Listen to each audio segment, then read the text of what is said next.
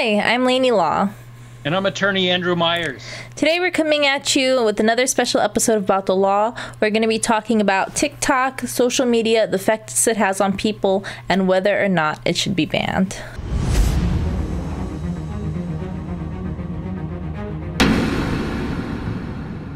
So, for a lot of people, I guess in my age group, we grew up with, at least for me, going into middle school, high school, you know, Facebook and social media started to pick up.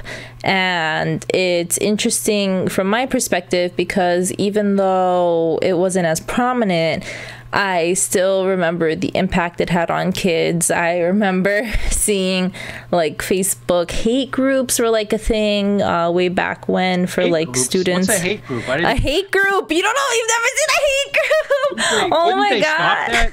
Shouldn't somebody stop that? I mean, uh, why, why I, would you have a hate group and wouldn't they somehow stop it? No. Uh, so. I think now, I think cyberbullying has become more of like a focus. But before, so with the hate groups on Facebook, people used to make like pages and you used to be able to make a page anonymously. So people didn't know who made it, but they'd make like, oh, I hate Samantha you know, whatever, it's like a student or something, or sometimes a celebrity. Um, and then it's just like people would go in and start dogpiling on that person. And that even now, it's actually still a thing where I I think they are starting to do something more about it recently. Um, I've never seen it, but I know there was like websites I called like Kiwi Farms, um, 4chan lolcow. I mean, 4chan is like a conglomeration of stuff, but uh, you could have like these groups of people getting together and like really dogpiling on whether it be like an internet celebrity or just like a random person. Um, they are like. No, I have I have heard of hate groups, but I thought that at some point along the way, I mean. I know that I don't know six, seven, eight years ago they, there were actually a couple of suicides because of them, and I thought that after all of that went down, I thought that they had done something about it, but you're telling me no, they they still can get away with that kind of stuff. I I'm assuming I don't use Facebook really that much anymore, so I'm assuming Facebook has solved that because, I, like you said, there's just like, you know, people. It was horribly ruining, impacting these people's lives. But um, I know that even recently, like on other, like I know that there's still, or that there were still websites that I think are having issues now that now they're getting try- people are trying to take them down and now web servers are not hosting them. But it was still like up until 2023 uh late 2022 maybe uh you could just go on these websites and you can find like threads upon threads of like them don't insulting someone of clothes don't people have anything better to do with their time? I mean that's crazy. Never. let me ask you let me ask you a couple of questions because I don't know. I mean, I've been on Facebook for a long, long time, and I mean a long time. I mean, I have two Facebooks, one for me personally and one for my law office. So I think I have Facebook down. When I first started blogging, as you know, I started blogging about 12 years ago. You know, the advice from all the experts was to also have all the others. Like uh, I would then send my stuff out over on LinkedIn, and I would send my stuff out over Twitter and some of the other things. But um, I have to admit, um, you're going to have to help me here. What's the difference between two? And I know there's a big difference, but what's the difference? I'm going to show how stupid I am. What's the difference between TikTok and Twitter? So Twitter is on fire right now. Um, so Twitter is although Twitter you can post images and you can post videos, it's primarily text based. Up until recently, um, there were character limits. The purpose of Twitter originally was that people would just get a thought out really quick. You're not supposed to type out right. paragraphs. Um, TikTok is the same concept, except in like brain rotting video form. That its algorithm. In what form? What did you say? what form? Rot. What is that? So, on TikTok, there's a lot of content. It's delivered to you really fast, and it's delivered to you in ways that are like gonna specifically like tweak your emotions. Uh, I was talking to a client uh, the other day doing her hair, and I was telling her how if like it almost feels like you hit don't interested and you're not interested in something on TikTok, that TikTok shows it like more because it's trying to get a rise out of you. TikTok, a lot of the videos, you know, can be under five seconds even, and you're just scrolling, scrolling, and it's easy to indefinitely scroll because it intentionally gives you something that's like close to what you want to see versus like, you know, satisfying you. So now, with um, Twitter, um, it's not as specific. Okay. Is there a difference in terms of I think Twitter, if you post something on Twitter, it stays there. Like my blog articles would stay there for a certain amount of time. Whereas I think the idea with TikTok is it, it goes away, correct? That's so TikTok has parts of that. So there's an app called Snapchat, which is like you take pictures, you send them, and they like oh, unless right. the person saves it, yeah. But right. TikTok also has its own feature, has a couple of different features. TikTok has stories, which are posts that you post and it's highlighted, and it's like goes in a special like highlight on your page, and then it's gone after 24 hours. You can still access that. Um, it also has posts that are called nows, which it's like you take a picture of yourself and you take a picture of what you're doing, and that also goes away within 24 hours. Generally, TikTok videos you can delete them, uh, but a traditional TikTok, like the fifth five to you know now 10 minute videos um, you can post them on your profile and people they can be there forever you can delete them and people can also like download them and react to them and do things like that Okay, we saw Snapchat when we did the podcast on uh, Murdaugh. because, because, his son had taken a Snapchat and people thought it went away. Mm-hmm. And after the murders and after uh, Alexander Murdaugh came up with a alibi, the FBI and the South Carolina law enforcement dug into the son's phone Snapchat. and they found that it didn't go away at all even though he hadn't posted it it was still there and they found it and that blew a huge hole into Murdaugh's um, alibi. So let's get back to today and here and now. Let's look back. Do you think that um, in your high school years, do you and this goes back i know um, do you think that uh, having all this stuff snapchat tiktok twitter and all this do you think it was good or do you think it was harmful i can't imagine what it's like being a parent today because it's everywhere. I think that there's a lot of reasons that kids should not have access to the internet. There's a lot of times where I, as an adult, like I will scroll on scroll on TikTok, TikTok showing me random videos, and there are times that as an adult i need to like close the app i'm like oh my god like i can't believe that was like saw that like a lot of the times like not a lot, but like I've gotten posts of like talking about people, you know, basically like, oh, my cousin got murdered by this person and there's no justice. And it's like a whole time like there's a lot of like potentially traumatizing things on TikTok. And there's also like um not just TikTok but like all social media and i think especially in like younger groups of kids when you haven't developed like that empathy for other people i think that there's a lot of meanness when it comes to like teenagers and young kids on the internet. Um, so I can't imagine being a parent and you don't want to give your kid a phone because you don't want them to get into these drama aspects, but then the kids are getting bullied for not having a phone, and the kids are not included, and these kids are not learning like how to be responsible on the internet. There's a lot of kids that might post something that you know they might regret um, and it might really negatively impact them. But at the same time, they're kind of learning, you know, don't post everything on the internet. So you're, it's that balance where it's just like, I, having a healthy dialogue with your kid would be really important, but I think that most kids on the internet in general are just kind of getting free reign. And I think that's right. like, like I said, TikTok rots your brain. I can't imagine growing up with TikTok. it's interesting that you mentioned um, that it's kind of hard to figure, you know, what parents would do because there are parents out there that just say no none of this. You're not allowed to have a phone. You're not allowed to be on uh, the internet.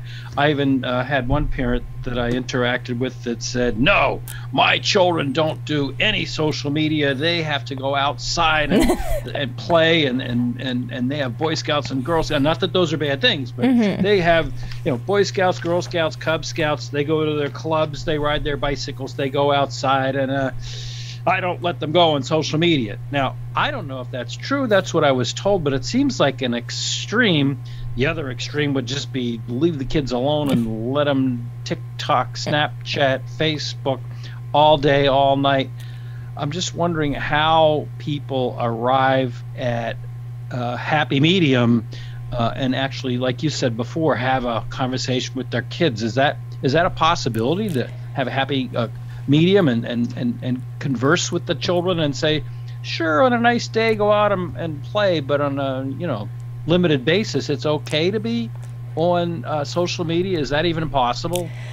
I don't know. It's because I'm not a parent myself, but I do live stream and I do have parents that watch me, and I have parents that have watched me with their kids. And it's hard because there are a lot of parents out there who have very good, healthy relationships with their children and are able to kind of communicate like the internet and show them certain things and have certain boundaries and that the kids can respect what the parents say. And I think that it's nice. I think, um, you know, this recent generation of parents, I think, is doing a lot more parenting with empathy. However, with like we still have like the iPad babies where it's like a parent will get a have a kid, they you know have a lot of stress in their own life and they aren't necessarily sure to handle their kid and they just kind of give the kid the iPad and let the kid play the iPad for the next 18 years. so yeah. it's just like are there ways? Yes. I think that what's happening which is scaring me is that a lot of kids, these iPad babies, um, are getting their parenting online. So I think that there's creators out there that can be a positive influence, but it's been an issue with kids nowadays that they like a lot of boys have like this macho wannabe persona and that are being disrespectful more to women and stuff like that because they kind of fall into that wrong spear. They see like a cool guy is just like, oh yeah, like you know, I'm going to teach you how to be alpha. And now you're seeing in schools like kids are misbehaving in class because of things like TikTok and kind of being geared away from more empathy. So I think that if people are consuming empathetic content or people are having conversations with their parents, that's good. But it also goes the opposite direction. Like, can it yeah. be done? Yeah, but is it being done? Not always. There have always been bullies and alpha dog people trying to you know have superiority over other people. That's always existed mm-hmm. is i guess this is a stupid question but um, i'll ask it anyhow. Do you really think it's any worse with uh, social media? I do because when it's happening in real life you can see how other people are affected by the actions of others. It's just like if someone bullies someone and makes someone cry in real life and you're watching that, you can kind of watch that and be like, oh, that person's being a dick. But if it's on the internet, it's like yeah. this guy's like yeah yeah and he's bu- like they're cyberbullying someone and that person's not live in that moment or not putting their life on is just like you're not seeing that you're actually ruining this person's life do you ever worry when you're online or do you, your friends ever worry when they're online that everything and anything they say and do, and either stuff that's in their computer can be um, misused by people on the other end and people in between. You know, you're in one place right now, I'm in another place right now, and hackers can maybe get stuff out of your computer and my computer and all the internet wizards that are between the two of us. Do you worry about that? Honestly, I do worry about it, but we don't even need hackers and internet wizards anymore. That people put out so much of their own information where it's just like and that was like a thing with like social media growing up. It's just like who's to stop like your friend from like getting into your facebook and like doing stuff like that? So it used like before it required a lot more internet smarts to get into someone's profile but now it's like you can just see if there's like a data leak find your friend's password and log into all of their accounts. So yeah. it's like like or your friend you know you're not going to do it to your actual friend but i think that uh it's very if you have malicious intent i think the internet makes it very easy to execute. Yeah what do you think about efforts uh, it's been in the news a lot lately uh, efforts by states state by state and even the united states government at the congressional level to get rid of tiktok. Let's you know tiktok has ties to china so let's let's ban it. What are your thoughts about that I think that all social media is like brain rotting our youth, and I don't really think that TikTok's doing anything different. yeah. I guess the real concern uh, by some is that um, China, uh, oh, well, no, China doesn't own TikTok, but TikTok is owned by a Chinese com- uh, company by the name of uh, ByteDance. Isn't that a nice name?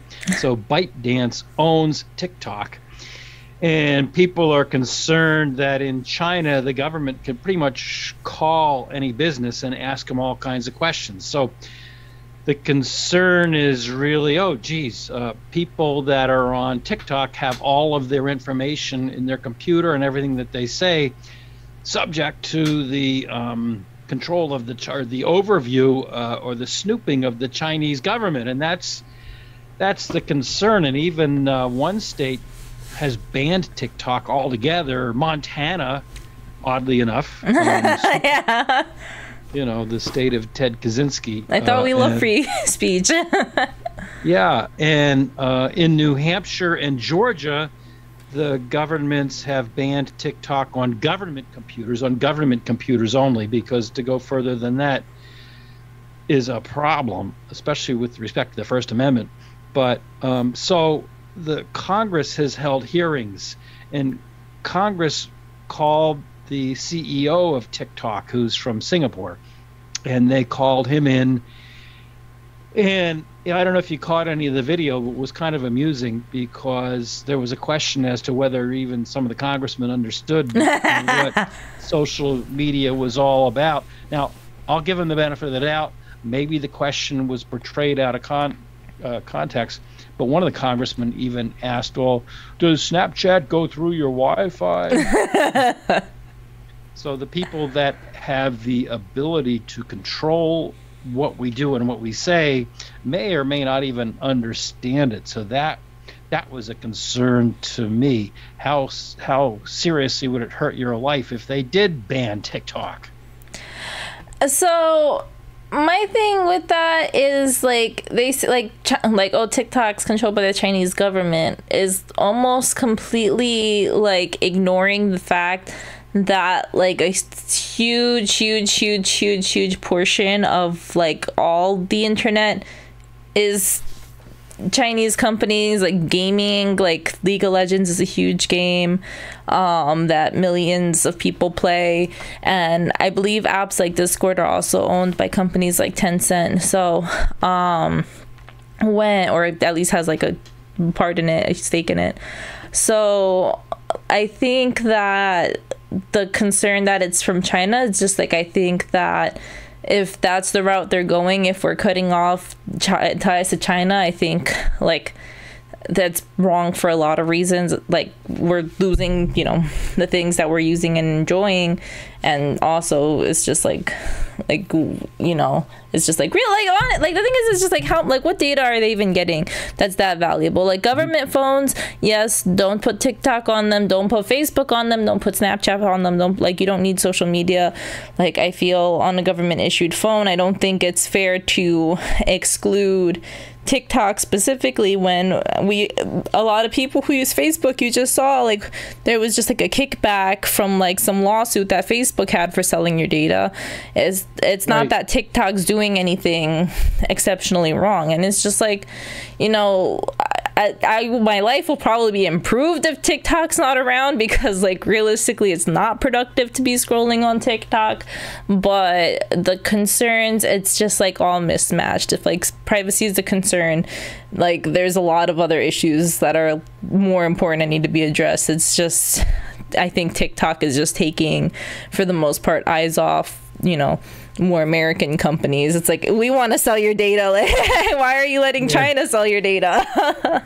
yeah, you mentioned uh, the um, class action against Facebook. There was also a lawsuit uh, respecting Apple because uh, Apple uh, was also, you know, mining your data, and the data could go anywhere. So that kind of thing is happening in this country. That that kind of thing is happening right here, and um, I don't want to come right out and say I'm not really scared because TikTok is run in China, but I'm not really scared that TikTok is run in China. I am old enough, and I hate to admit it, uh, but um, I'm old enough. Well, I'll put this in the third person. Uh, I can recall the tail end of the Red Scare when you know it was true that there was mutually assured destruction. Both Russia or the Soviet Union and the United States had enough nuclear bombs to destroy the entire world, even way back then. And um, you know, you had to duck and cover. And as a kid, I remember the the tail end of that when you know you had to do a bomb drill and you had to get under your desk as though your desk was your desk was going to protect yeah, you. Yeah, it's going to be what stops it. but the point is, um, all of our entire society had the Red Scare, and the Reds, the commies, the Ruskies, you know, all these pejorative terms were the de rigueur of the day. And uh, we were all brought up to think that uh, Russia was our horrible, terrible, mortal enemy.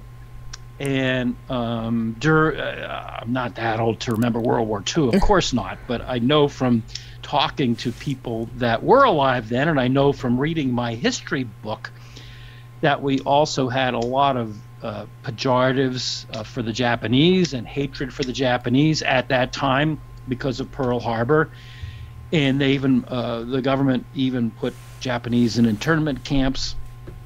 Then uh, we became more enlightened and realized that you know what I mean. There were some horrible people uh, that did some horrible people some things everywhere. So, you know, I am only bringing that up to point out that I might be wrong, but I think that this hatred of or, or dislike and distrust of China is way overblown. I mean, sure they're buying farmland. Sure they um, bought a lot of U.S. Treasury notes. Sure we have debt to them. Sure they're building some military bases in the Pacific. But I, I just you know, in the perspective of the hatred towards Asians in history and uh, the um, Red Scare. I, I just you know I don't know why we're singling out the Chinese on a in this type of a basis through TikTok. I just I don't know. It doesn't it doesn't seem logical to me, and I certainly hope we're not gearing up for uh, you know any kind of uh, confrontation mm-hmm. with China. But I mean, it just seems like the whole thing is misplaced. I mean, China is more into capitalism these days. If you read into it, they're more into building factories. And yeah, I know this. I know. I don't know anything about it at all. So I, I know think there's I, I just stuff going that's on. interesting. There's there's, there's labor. Uh, apparently, there's alleged you know child labor and that. But the people of China have kind of turned the tide, and they really have industrialized the whole country, and they're into making money. So mm-hmm. why would they want to do anything to hurt us? All right, that's just my political statement. I guess the name of the show is a the name of the show is about the law, so we should talk about some law with uh, um, these um, social media companies. I mean, Facebook and Twitter and the others uh, used to be a thing. Is MySpace still around? Mm, technically, but not really. It's not a big player. It's not a. So- it's more of a music site than a social media site, and nobody really uses it. and, and, the other one that I think falls into that same category is AOL. AOL. Every now and then, I still, you know, I ask uh, a new client, "What's your uh, email?" and they tell me I'm I'm Joe Blow at AOL.com, and I say, You're the one. but anyhow, when the, when the internet first came out, nobody knew what to do with it in terms of the law. I mean, is it a newspaper? Is it a phone company? Is it what? What is it? Can uh, if if you say something bad about me, uh, can I sue not only you but also Facebook? Um, is Twitter responsible if if I say something bad about you on AOL? Can you sue not only me but is AOL responsible? So Congress sat down and thought about it because they had to, because these companies start generating a lot of money and these companies start employing a lot of people, and so it becomes an important sector of the economy. So Congress sat down and thought about it, and uh, under the 42nd uh, title of the United States Code, they passed what's called Section 230. And what Section 230 did is it immunized uh, social uh, media Facebook and Twitter, and um, at that point, um, CompuServe and AOL, and now today, you know, all the um, Twitters and uh, the others, they're immune pretty much from liability if uh, there's a case of slander or defamation. Uh, whereas that was a question in the old days, there was a distinction uh, newspapers uh, have editorial um, control over the content, so they can be held liable if you if if if if you write a letter and say that I'm a rotten person, and the newspaper publishes it. Um, I have a defamation case against you and the newspaper. Um, however, that wasn't true of the telephone company. If you called and told me that I was a horrible person over the telephone, the telephone wasn't company wasn't liable. The distinction being that the newspapers are publishers and the telephone companies were platforms. So the Congress in 1997 said, "Well, okay, uh, we will, uh, since this is the the courts are going all different ways. The federal district courts and the Supreme Court were looking at it and trying to figure out, you know, what do we do with the? So they passed Section 230." now with all the things that are happening uh, online and you hear stories like you were talking about before about uh, uh, these hate uh, uh, groups what did you call them hate groups hate, hate pages yeah hate pages hate groups yeah so now the question forums. is yeah hate forums i mean that's not right and so now people are saying should congress revoke section 230 and they've actually considered it and looked at it. I, I, it may or may not happen. I doubt it. If they do, it'll be in a limited sort of a way. But that's out there. That's out there as to um, whether or not they would remove the protections that they gave to all of the social media back then. And yeah, it's a tough issue. I mean, I don't know. Um, uh, what do you makes, think? I don't know, because. Um Mm, it's hard where everybody can make a website now. Um, even you know, a decade, almost two decades ago, um, there I I don't remember the name of the site, and I'm glad I don't remember the name of the site.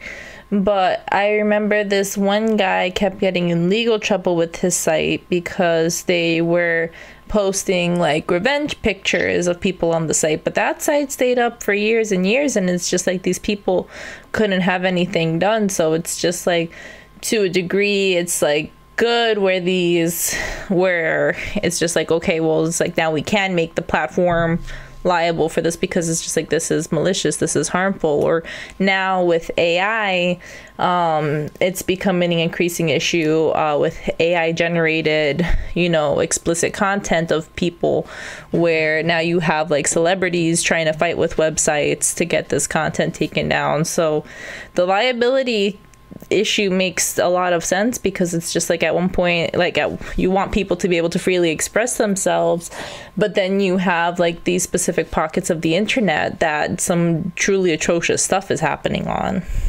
right mm-hmm. yeah don't, don't, talk too much about ai because we're going to actually do uh, a, an entire podcast on artificial intelligence in the next couple of weeks so that's something to look all forward our many to. many, many we got to keep the juice can look forward to because artificial intelligence is kind of a scary concept, and then you put it on the internet, and um, you don't know what's you know who's behind it, who's saying what. Um, but to get back to what you were saying about the weird websites, there was a crazy story in Boston uh, before I'm not going to use the names because I just don't want to. But um, there was one radio talk show host who was very popular, but also very controversial. Another radio talk show host in Boston grabbed his name and started a website with his name. And we'll, I'll just make up a name. Let's let's say his name was uh, John Doe. The other radio talk show guy started a website that said johndoe.com, and he held it. And there was nothing that the real John Doe could do about it. There was absolutely nothing he could do about it because the other, and that just it didn't seem right to me. But that was the law. So, um, John Doe, the radio talk show host in Boston, could do nothing about the fact that this other guy held the website because the other guy got it first. Until sadly, the other guy passed away. And at some point, uh, he lost control of the domain name, and John Doe, of course, immediately grabbed the johndoe.com but I mean that I don't know that that didn't that it's didn't horrifying. seem right. That didn't seem yeah. There were actually lawsuits about that way back in the early days of the internet. Now we're going back into the dinosaurs, but you know I can't remember whether it was Coca Cola or um, Nabisco or one of the other huge manufacturers nationally. Um, someone put on their thinking cap when they first started selling domain names, and they grabbed that name. You know whether it was Budweiser or whatever uh, we'll just use Budweiser as an example. They grabbed Budweiser.com, and there actually was litigation all the way up through the federal courts that Budweiser said, no, we have a copyright and a trademark to that name. You can't have that. But they had to go to federal court to resolve that issue. Whereas the radio talk show guy in Boston, you know, he, uh, for whatever reason, the courts went the other way on him, and I guess he wasn't willing to take it all the way up to the top courts. But those are the crazy things that um, have happened. And I mean, the law that I was talking about before, the publisher and the platform distinction, those came about, you know, 200 plus years ago when those guys were writing the, you know, Madison and Franklin, and when those guys were writing the Constitution.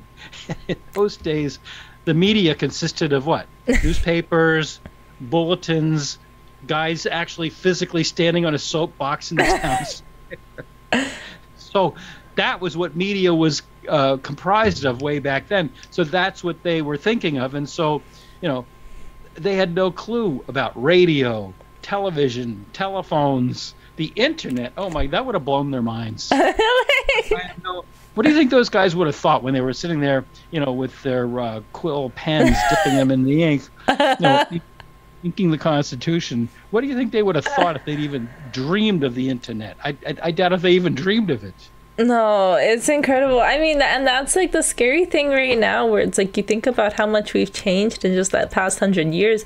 Think about the internet. The internet's been around for like what almost 30 years now that's like such a small yeah. fragment of history where it's just like we've had all these law issues like up into this point and it's like we can't even comprehend where we're going to be in another 30 years from now.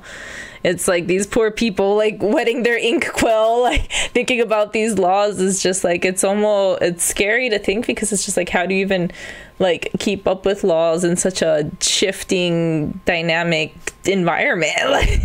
Like it's impossible it is scary. It is scary. But you know what's even scarier to me and I don't think this is an editorial comment. This is this is legal analysis. Um, it scares me that people that can't even balance the federal budget in Washington D.C. want to hold hearings on changing the internet and changing and actually banning speech. I mean, the First Amendment of the United States Constitution clearly says Congress shall make no law uh, bridging and then freedom of speech, freedom of uh, religion, uh, freedom to uh, peaceably assemble. But that's the very First Amendment, and it specifically says, "quote Congress shall make no law," unquote. Mm-hmm. So how can they, when we're now pushing thirty-two trillion dollars of debt, which I forget the exact numbers, but for every single man, woman, and child in America, we each owe one hundred and twenty thousand dollars, something like that. I might be off by ten thousand dollars. What's ten thousand dollars? Yeah, literally. um, that uh, they can actually, with a straight face, not balance a budget, but they can actually think about abridging the freedom of speech. Now, true to uh, form, uh, freedom of speech is not an absolute. for my friends in the news media. Uh, there are two exceptions, a couple of exceptions to freedom of speech. Uh, one is inflammatory and insightful speech. The case being you can't yell fire in a crowded movie theater. Uh, that's actually a Supreme Court case because that could cause uh, harm.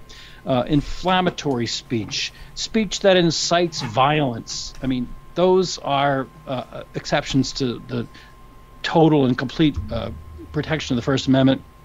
And the other, one of the other exceptions is uh, slander and defamation laws. I mean, you can slander somebody all day long, but if they make out a case for slander and defamation, you're going to have to pay them damages. So, true, there are exceptions and workarounds to the freedom of speech, but it's uh, the people that wrote the Constitution true, as we just said, they had no idea that the internet was going to come around. But they were very clear when they said Congress shall make no law. So I would think that Congress would have better things to do than speculate about, you know, what TikTok is doing because I don't know. I I might be I might be totally wrong about this. I've been wrong before, but it seems to me that TikTok you know, I mean, I don't, I don't see it as a national security issue. I think it's an overreaction, as I said before. But that's just me. I don't know. I'm, I'm just.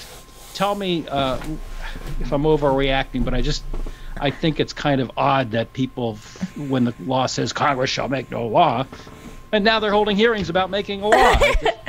well, especially when it's something so insignificant, because like you said, it's just like yelling fire in a movie theater. Um, that's like comparable not really comparable but like how we had like these inappropriate websites and things along that nature where it's just like there's some things that you can do like online that are causing harm and that are you know unproductive and malicious.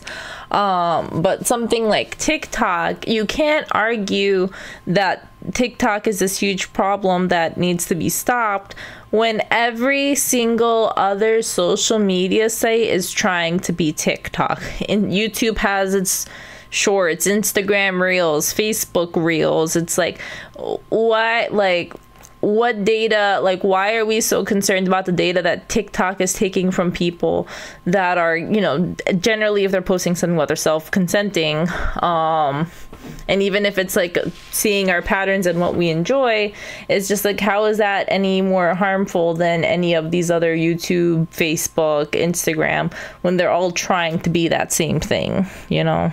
I think i think their concern is not you know people are showing their puppy on TikTok.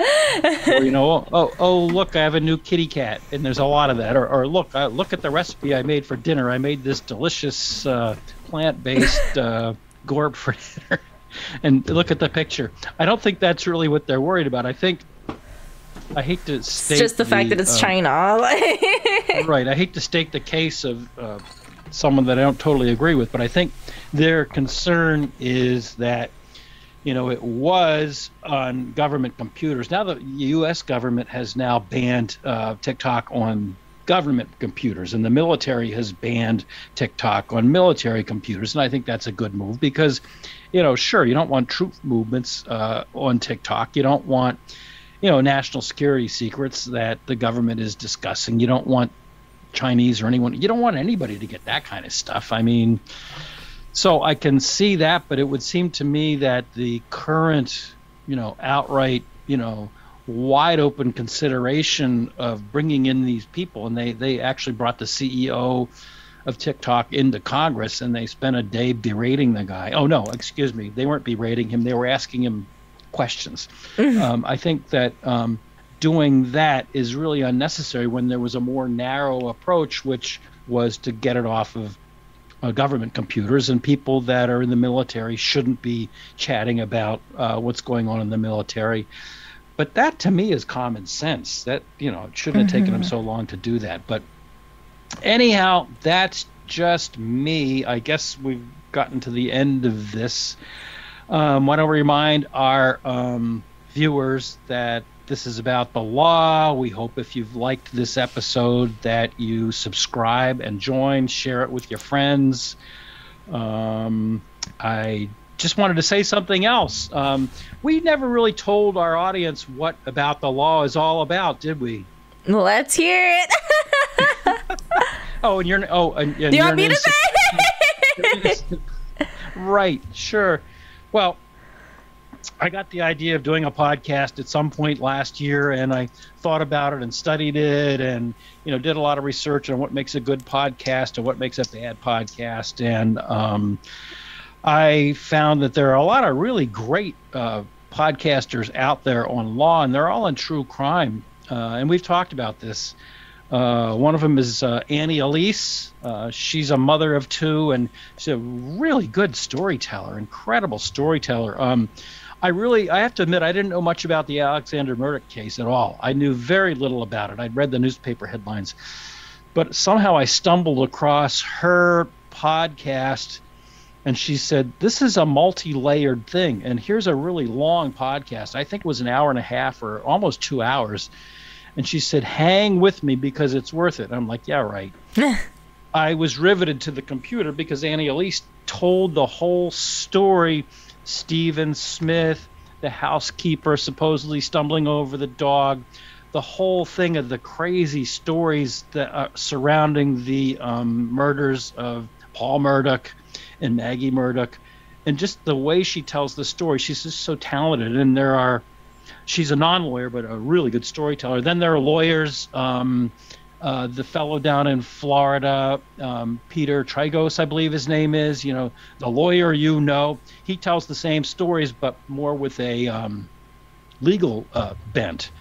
And he's a very incisive uh, storyteller, also, but he tells it uh, from a legal point of view. And then there's the woman you like, and you're getting me to like her. What, what's her name? Emily Baker. Emily Baker. And she does a good job too. She really does a very good job. She's a former prosecutor. She's been she's a former prosecutor from Los Angeles, in um, 17 years of experience uh, practicing law, and she too tells a really good, incisive story about these crazy cases. Um, Letecia Stauch, uh, Bryan Kohberger. Uh, unfortunately, there's so much material that these three that I just mentioned never run out of material. So I'm saying to myself, how am I going to compete with that when there's already so many really good, intelligent, articulate people doing podcasts? So I'm saying to myself, well, even though I'm a lifelong true crime fan, I have a, couple of shelves full of Ann Rule books upstairs. Um, why don't I try and make, um, and maybe I'm failing at it. Stop. why don't I try and make uh, civil law interesting? Why don't we try and do a podcast and not compete with anybody? Because I don't see a whole lot of civil law podcasts. Maybe it's because some people find it boring, but we started out with topics that I had been blogging on for years and we got comments on for years things like how much is my personal injury case worth? Every single client that comes in to talk to me asks me. So that was one of our first. And then we branched off to topics that also were very popular, like where are the worst intersections in Massachusetts and New Hampshire? And we have some more of those. So that was my whole idea. But you were the one that told me all about um, Emily, and you like Emily, right? I don't. So I haven't watched too much of Emily's content on her own channel, but she is like the queen of cameos, and it's just like whenever somebody needs legal advice, it's so awesome to see. It's just like, all right, like ring up Emily. right, right, so, right.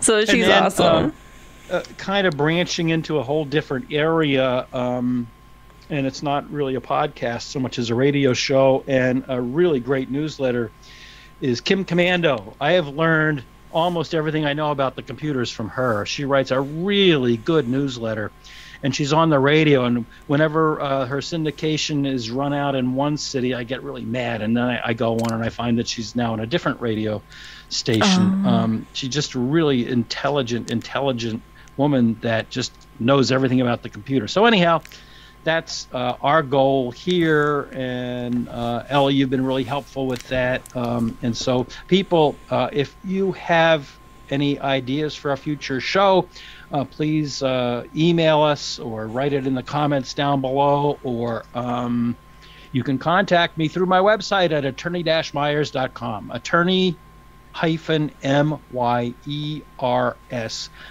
dot com. Ellie?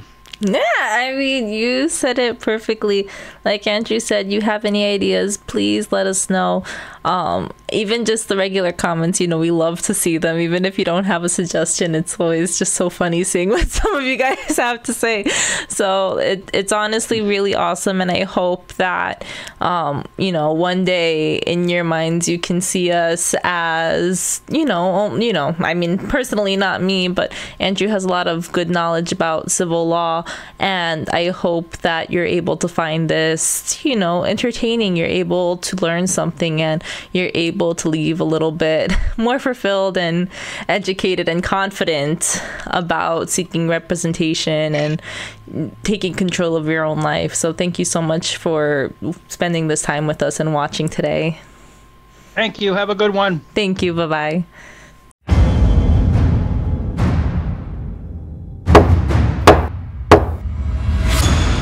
You have been watching About the Law a production of the law offices of Andrew D. Myers in Methuen in the Merrimack Valley of Massachusetts and Derry, New Hampshire.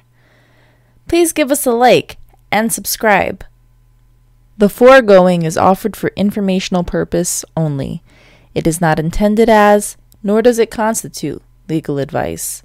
Laws vary widely from state to state.